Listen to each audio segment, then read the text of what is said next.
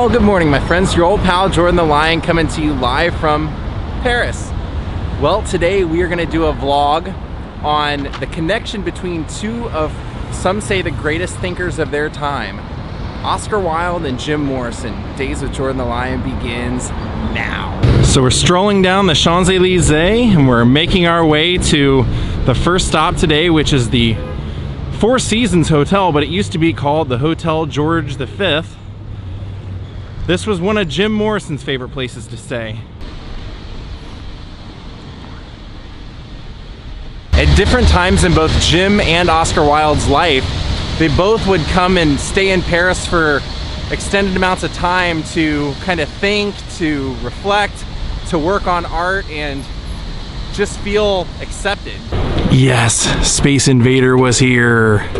So now it's a Four Seasons, like I mentioned. It's pretty expensive to stay here. But shortly before the doors did LA Woman, Jim Morrison came here and stayed with his friend before they went skipping around Europe exploring. And then once they recorded LA Woman, once he finished his part, he told Ray Manzarek, I'm taking off to Paris. I already sent Pamela there to secure us a place. This is where she secured them the place. It was called the Hotel George V. And he told her he wanted to, he wanted to stay there because it reminded him of a plush red whorehouse.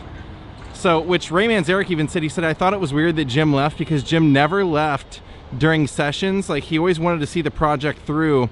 And when we did LA Woman, he finished his parts and then he said, I'm taking off to Paris. Pamela's already got our place. So they came here. Well, he came and joined her here, but they only stayed for one week before moving to where Jim Morrison would officially be pronounced dead. That's a pretty cool window display. Check that out. Holy cow, somebody just came up to me and recognized me from my videos in Paris. Who knew?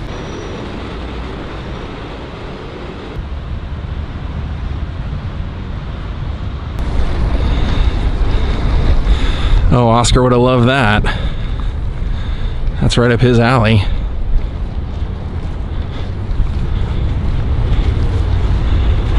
And you too.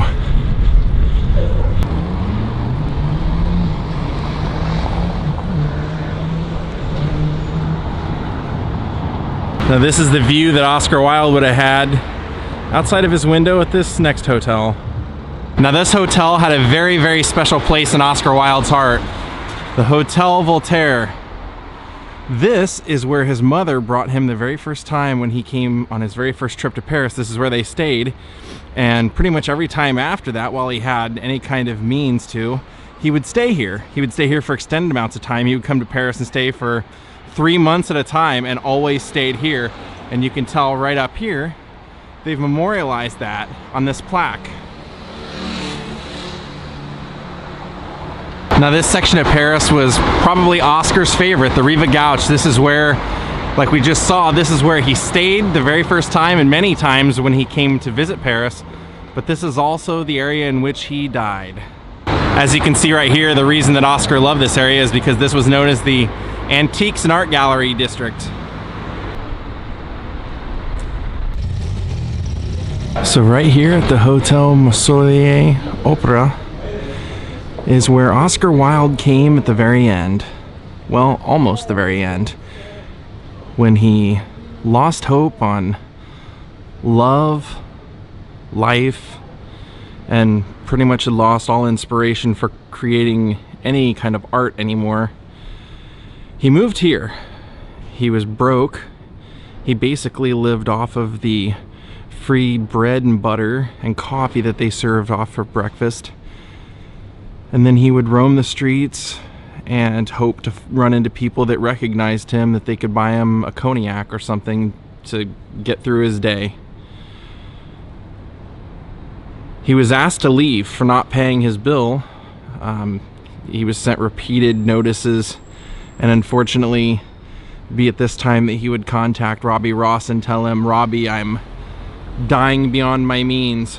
So he moved out of here and went into, a, at the time it was kind of a scummy place, which is where he ended up dying.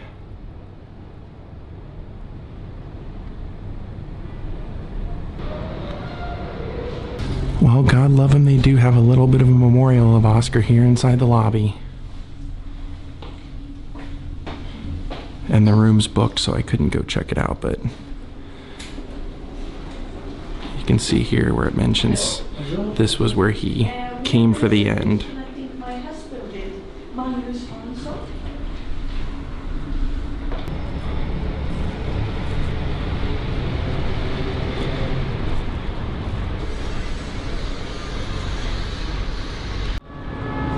Take a look at this.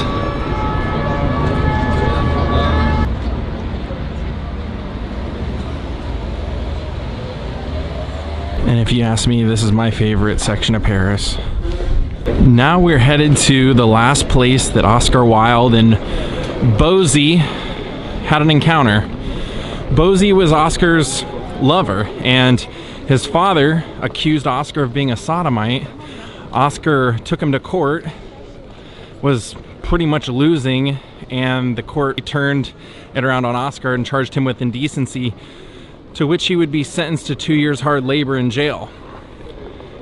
When he came out, he did reconnect with Bosie, but it just never really ever worked out. And by the time they met up here, where we're going, Bosie's father had passed away and left Bosie most of his fortune. Now it was here at Shakespeare and Company that Bosie and Oscar Wilde had their last meeting. Once Bosie had all that money, Oscar asked him to spare an allowance, to give Oscar an allowance since he had lost everything because of Bosie. To which Bosie, who now was financially independent, could have helped Oscar with no problem, said to him, Don't be a whore, Oscar. And to my knowledge, they never saw each other again. He gave him nothing.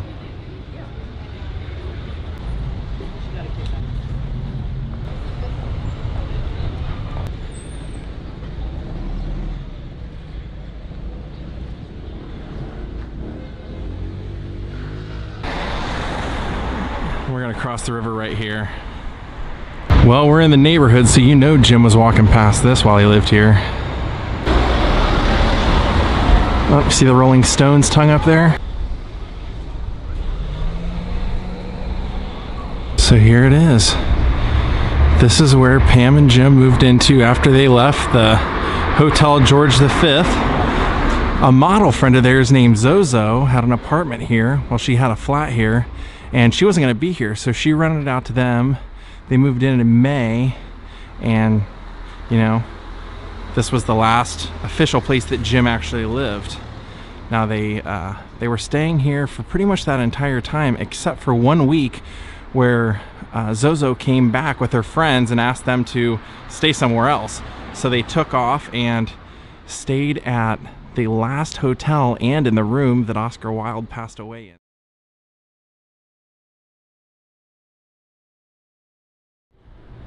Now, while he lived here, there was a park nearby that he used to love to frequent, and he did some of his writing there. So we're gonna head over there now. So there's our next stop, Place des Vosges. And I believe it's straight through here.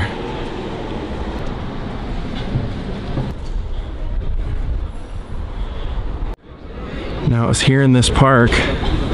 They say hasn't changed hardly at all since the days Jim would have been living here. This park was less than a five minute walk away from his flat. And they say he used to come here and sit on the park benches and spend countless hours watching people, drinking coffee, and writing poetry. Now they say some of the more memorable things that he worked on here was some of the selections from Wilderness and The American Night. It's hard to know where Jim would have sat specifically, but there are many benches around here. And it very well could have been this one, or this one at any given time, or this one.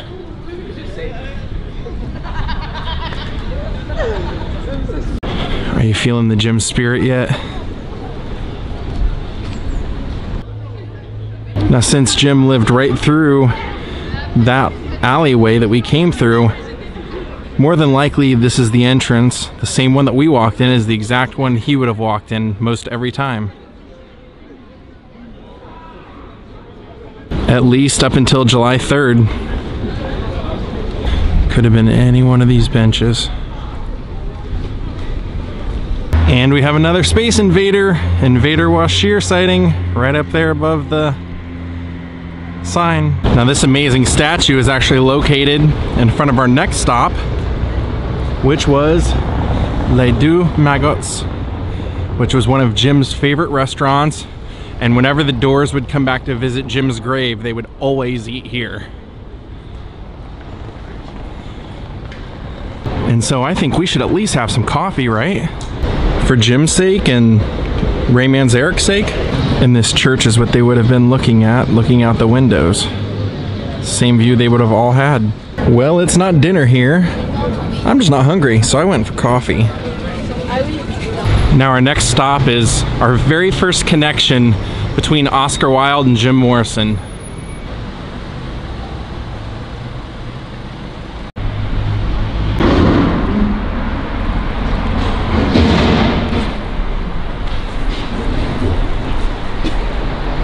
Now, during the time that Jim and Pam were staying at that apartment they were renting from the model, she actually came back into town with some friends and wanted to stay there herself and asked them to find somewhere else to stay for a while. So they moved here onto the second floor into the Oscar Wilde room, the room that Oscar Wilde passed away in. This is the famous room that he would be quoted as telling Robbie Ross, I'm having a duel to the death with the wallpaper one or the other, him or I have to go. And unfortunately, it was Oscar. Now, at the time, this was kind of, they called it a pretty rundown place. It was called the Hotel Alsace.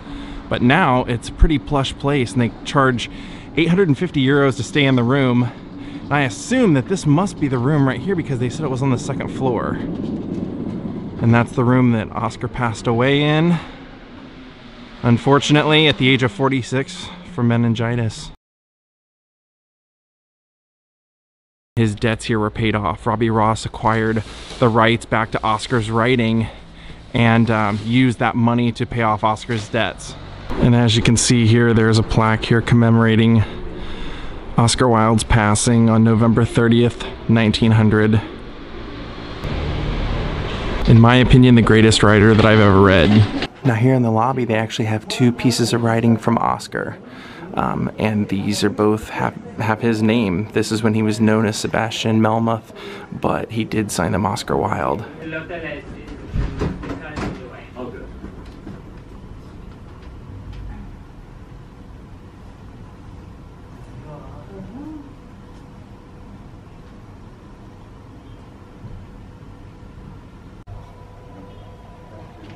Ah, les catacombes. The line, uh, the line 6, the metro 6. And I just love the fact that Jim Morrison himself was such a big fan of Oscar Wilde that this is where he would choose to stay. It's almost fitting that this would be the second to last place he would live. And now that I'm looking at it, I'm almost wondering if this isn't the first floor and this window right up here that's open with the bit of a chandelier if that was an Oscar's room. I'm hoping at some point to uh, stay there and vlog the room. Here's where Oscar passed away and Jim Morrison stayed for a week. This would have been the second to last place that he stayed in here in Paris. All right, let's head off to our next stop. Now I'm going to take you over to a bar that used to be known as the Whiskey A Go Go, and before that, when Jim used to go, it was called the Rock and Roll Circus.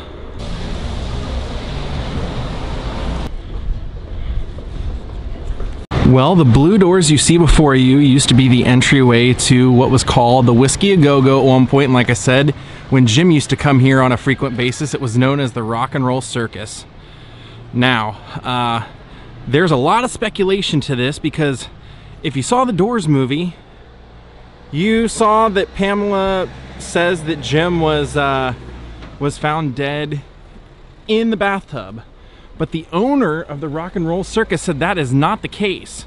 He said Jim died here in a bathroom stall. He said Jim came in, ordered a bottle of vodka, and uh, took it to the bathroom to buy heroin. And while he was in there, they believe that he shot up and uh, passed away in one of the bathroom stalls. Now, his friends went in there and found him, freaked out, um, grabbed him, and took him home to the apartment that he and Pamela were sharing and put him in the bathtub. Now, they say that the reason that Pamela um, may have said that that wasn't the case or why she said that she found Jim dead in the bathtub is because she didn't want to be investigated for heroin possession, which makes a lot of sense to me. And even the man who owned this club at the time wrote a book and said when he heard on the news that Jim Morrison had died in his apartment, he shouted out loud, he said, No, he didn't. He died in my club. I saw it. I know he did. So, seems like a very, um, I mean, to me, it seems like it makes sense. So, this, I believe, is the true death scene of Jim Morrison in the bathroom here. Now I believe it's like rental offices or whatnot. I was trying to uh, show you through that people. All you can see is really like a, a walkway that leads to stairs, but yeah, they believe this is where Jim Morrison actually really died.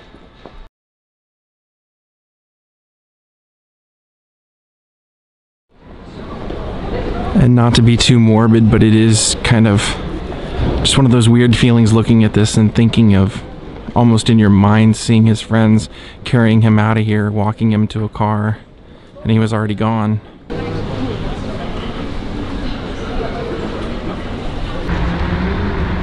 Now we're passing by the Notre Dame. We're gonna be headed to that side of the river.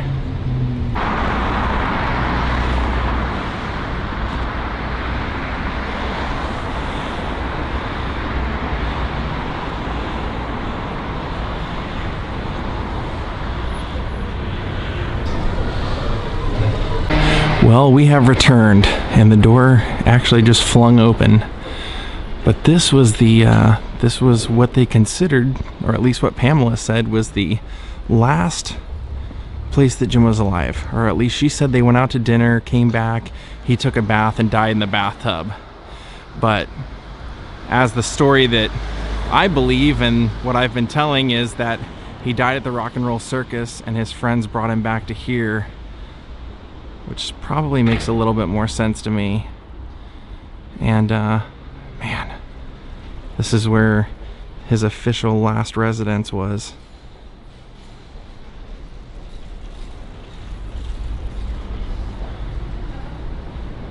Now, I'm not absolutely positive as to which flat it was, but it's just kind of amazing to think of. This is where they came and took him away for good. And uh, sadly, there was never an autopsy.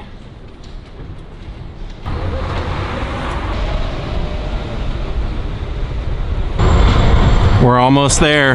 Both Jim and Oscar came to Paris as a place of security. When Oscar was being charged, Paris was one of the only places that defended him in the media. They would say it was an absolute travesty to treat an artist such as him with the contempt that they were treating him with that trial. So Paris was Jim Morrison and Oscar Wilde's last home.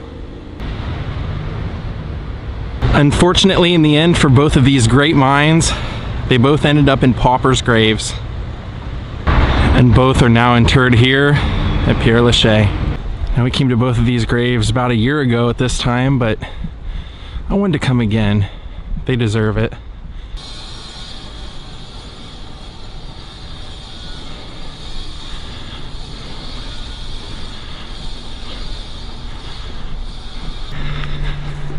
our first stop is going to be James Douglas Morrison. Jim Morrison.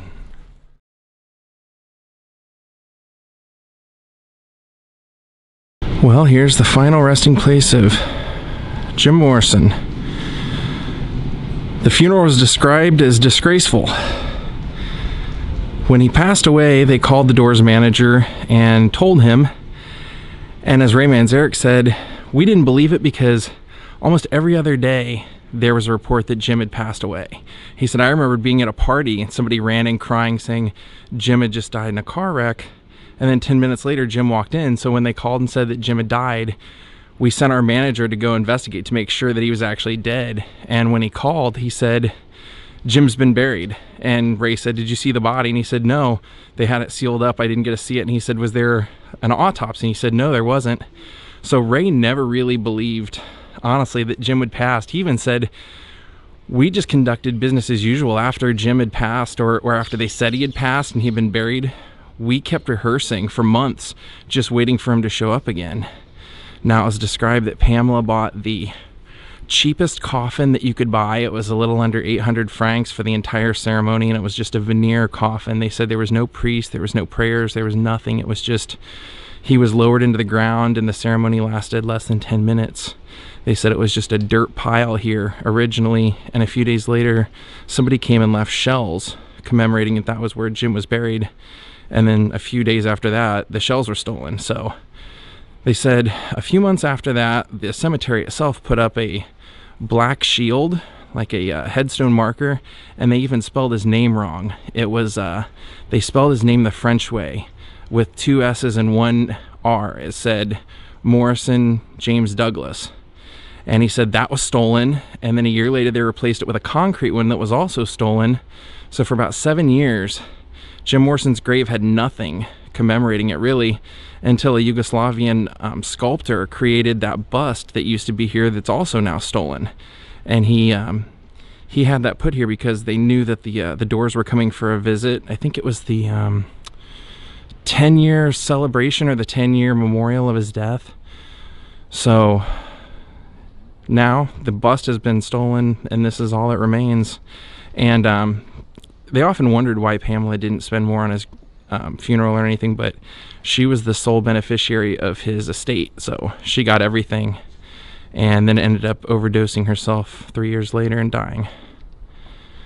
So here, here he is. Said, pretty sad. Guy so beloved had really no ceremony at all, no remembrance.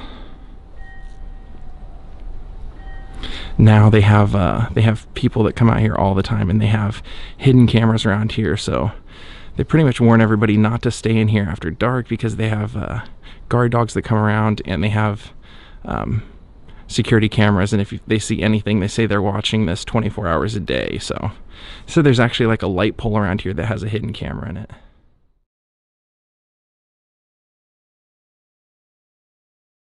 And up until Ray Manzarek died, he said he was never 100% sure that Jim was actually dead. He, he kind of believed that he faked his own death and said, We always just expected him at some point to pop in and go, Here I am.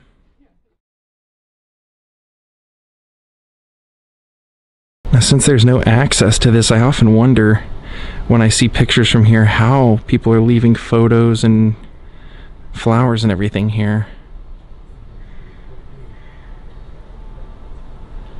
Now, like I said, this is part of the connection of Oscar Wilde and Jim Morrison, where Jim stayed. The second to last place he stayed before he died was actually in the Oscar Wilde room where Oscar died. But Jim is not the most popular person to be visited here. It's actually Oscar. So let's go see Oscar now. Now, Oscar was buried in a pauper's grave as well when he died in 1900, but not here originally. Originally, he was buried outside the city limits of Paris and was eventually moved here in 1909 when Robbie Ross had acquired Oscar's works back, paid off his debt, and moved him here.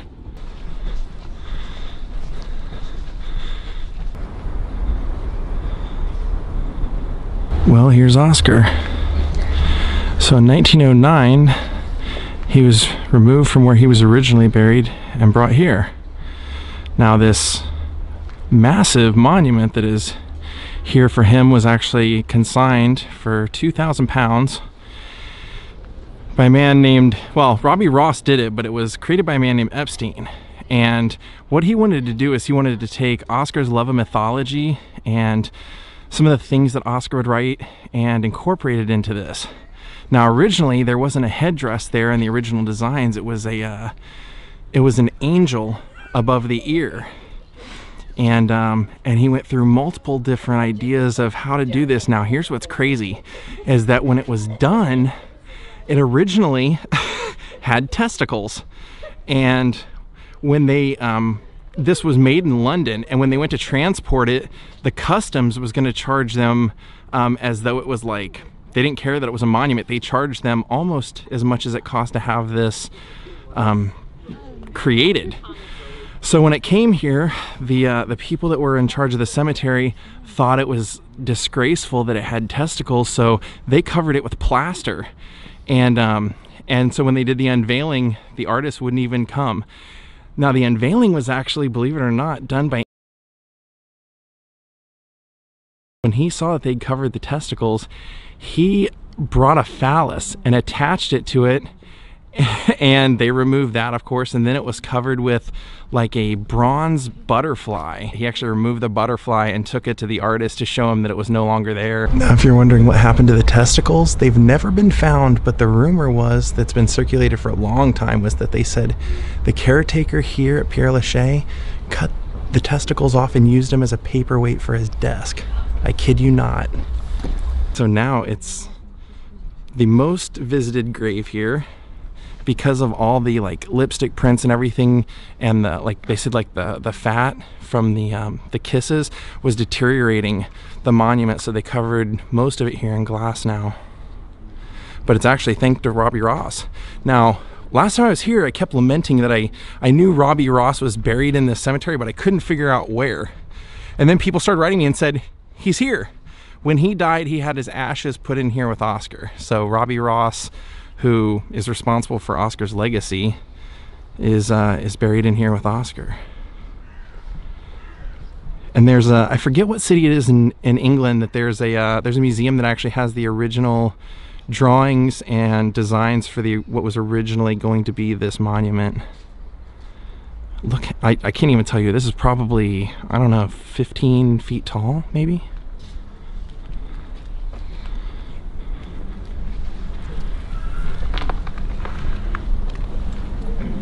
In my opinion, the greatest author of all time.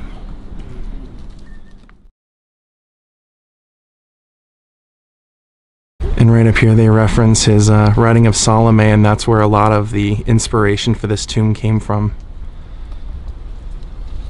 And you can tell right where the glass ends, people are still coming up here and kissing it. A lot of people didn't like this monument when it went up. They thought that it should have been something more like the Happy Prince or something like that. And originally the design at first was like two boys dropping their head in sorrow.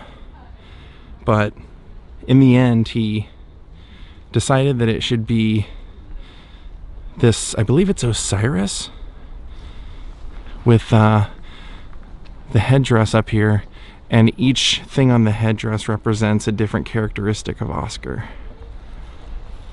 And Oscar, I'm going to leave you a few coins for the afterlife. Get some cognac.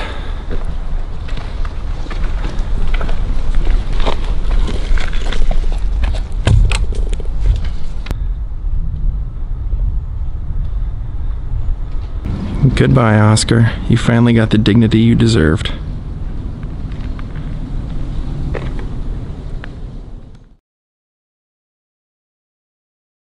Well, Lionhearts, that's going to do it for us here in Paris. Tomorrow I depart. Hope you guys have enjoyed this series of videos, and I thought no better way to end it than to pay tribute to Jim Morrison and Oscar Wilde. Rest in peace, both of you. Great minds of our generations. Have a great night, and we'll see you all tomorrow. Goodbye.